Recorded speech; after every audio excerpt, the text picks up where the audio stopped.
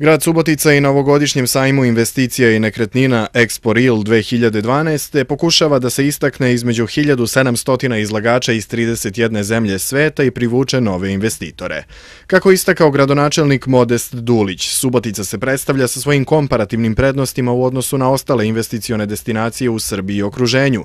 Lokacija na koridoru 10, opremljeno zemljište, brza administracija i ljudski resursi. Subotica je dobila praktično vrlo značajno priznanje time što je svrstana u jedno od najprestižnijih e, gradova u čitavom regionu, a činjenica je da je u našem gradu jesu investitori poput Kalcedonije, Svarovskog, Dunke Motora, Siemensa, je se upravo potvrda je da je Subotica sigurna za investitore i za investicije, da je to grad sa ekonomskom i političkom stabilnošću koju garantuju ne samo sigurnost investicije, nego i povrat toga.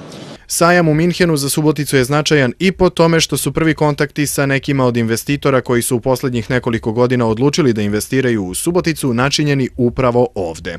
Ove godine da će slobodna zona koju ovde predstavljam uspeti da pronađe zakupca za onih 1500 kvadrata slobodnih hala koje su nastale preseljenjem Dunkera u novi objekat slobodne zone i da na taj način dovedemo još jednu kompaniju u Suboticu. Sajam u Minhenu je prilika i da se obnove već uspostavljeni kontakti sa investitorima na nekim od ranih sajmova koji ćemo, da kažem, kroz već ugovorene sastanke ovde na sajmu pokušati da im približimo temu uh, u ovom momentu proizvoda Subotice što bliže i da već imamo, da kažem, neke vrste feedbacka sa njihove strane o potencijalnim mogućnostima ulaska u pregovore.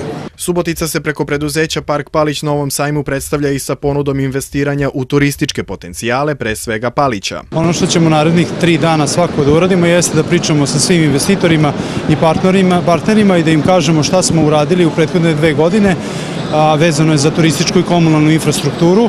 Iskoristit ćemo priliku da i u Privrednoj komori Bavarske izvršimo jednu prezentaciju svih slobodnih parcela na Paliću. Ono što je važno jeste da je zakon o privatnom partnerstvu donešen.